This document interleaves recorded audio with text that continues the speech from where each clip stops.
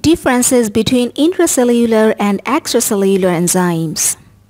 The enzymes which act inside the cell. The enzymes made by the cell but work in the outside of the cell.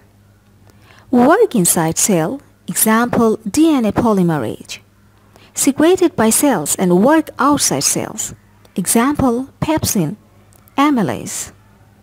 Intracellular enzymes are also known as endoenzymes, while extracellular enzymes are known as exoenzymes.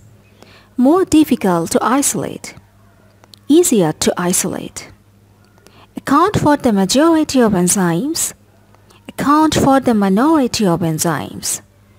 Undergo intracellular digestion, undergo extracellular digestion. It is a less efficient method. It is a more efficient method of digestion.